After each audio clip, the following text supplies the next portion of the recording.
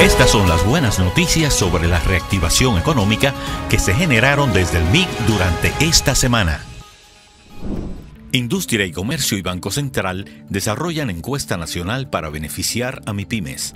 El ministro de Industria, Comercio y MIPIMES, Víctor Ito Bisonó, y el gobernador del Banco Central de la República Dominicana, Héctor Valdés Albizu, firmaron un memorando de entendimiento para la ejecución de la encuesta nacional de las micro, pequeñas y medianas empresas 2022-2023, la cual recopilará información económica y financiera para el diseño de políticas que fomenten el desarrollo de este tipo de empresas dinamizadoras de la economía local.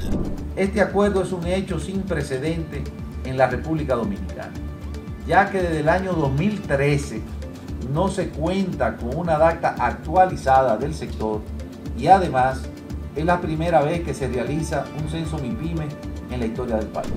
Por su parte, el gobernador del Banco Central, Héctor Valdés Albizu, expuso que los resultados de la encuesta constituirán una herramienta fundamental para la toma de decisiones de políticas sobre las MIPIMES. Estoy convencido, mis amigos, de que la experiencia acumulada del Banco Central en el levantamiento de encuestas con representatividad nacional y el conocimiento amplio del Ministerio de Industria, Comercio y MIPIMES en lo que respecta al funcionamiento del sector objeto de estudio asegurarán el éxito de este proyecto.